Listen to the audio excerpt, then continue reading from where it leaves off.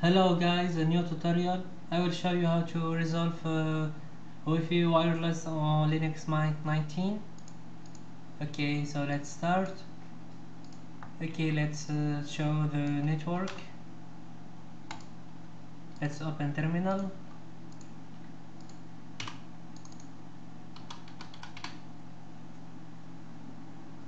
And this is uh, all the description for network.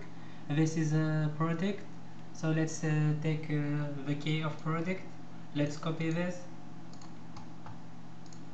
And then uh, we will use uh, this uh, here.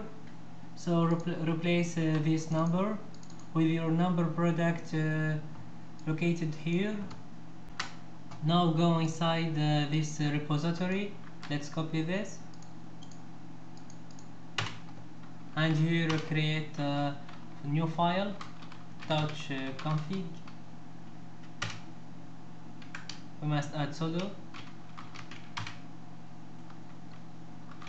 And this is config. Let's add uh, this line this band model. And here is uh, the number of product.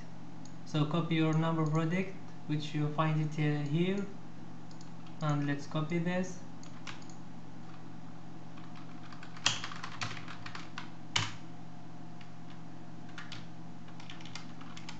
let's uh, create it with nano.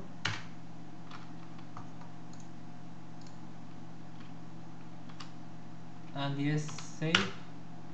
We can check again. Okay it is uh, already here.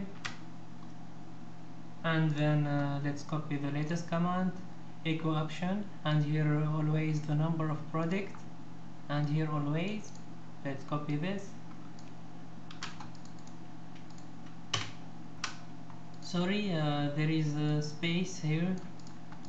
So let's uh, remove it. And now it's okay.